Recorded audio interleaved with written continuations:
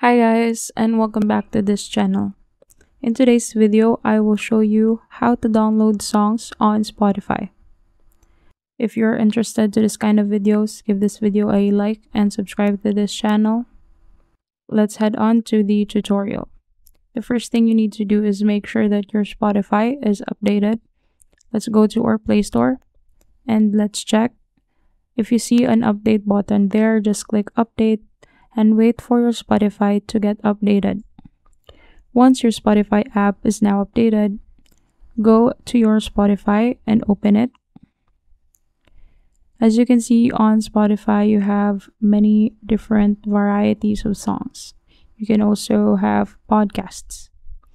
But what you need to do is download a song, right? So there are many playlists here. And you can also have your own playlist.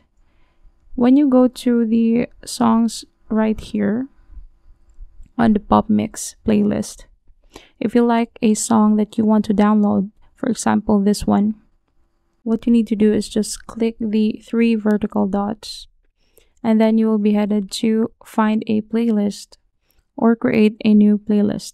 For now, let's create a new playlist and let's name it downloaded songs.